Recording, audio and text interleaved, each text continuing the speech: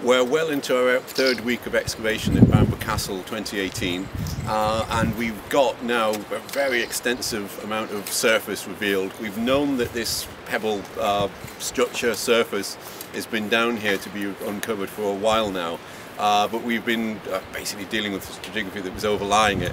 But this season we've made terrific progress in exposing it and we've got many square meters of it. It's turned out to be a much bigger, more substantial feature than we're expecting. Um, I still don't know 100% whether we're looking at a, a, road surface, I think that's the least likely, a yard, which is perfectly plausible, or whether we're, we're seeing a structural surface associated with a, a building, though I'm assuming a timber building. Uh, we're beneath our 9th century metalworking horizon. Uh, it doesn't look like we're, we're dealing with primarily metalworking here, but obviously we're still in the industrial part of the castle. Uh, we've been digging through 8th century deposits.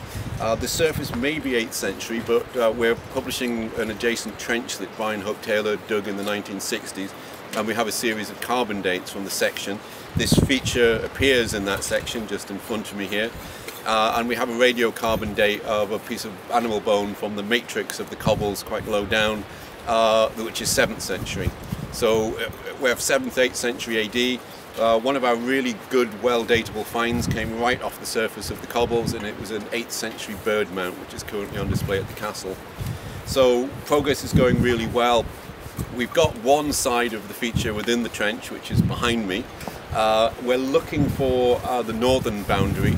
We're probably not going to see uh, the south boundary but we also have a limit of excavation within the Hope Taylor Trench. So we've got at least three sides of this structure.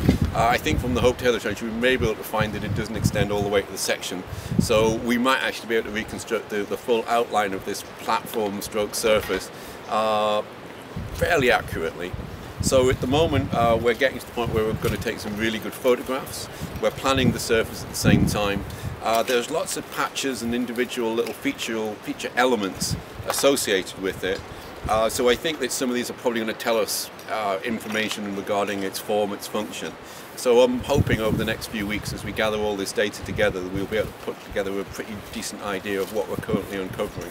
But at the moment, on a site which is complicated and where actually finding extensive surfaces has often proved to be very difficult, uh, I'm quite reveling in the fact that we've got this major feature that, that extends over a considerable distance.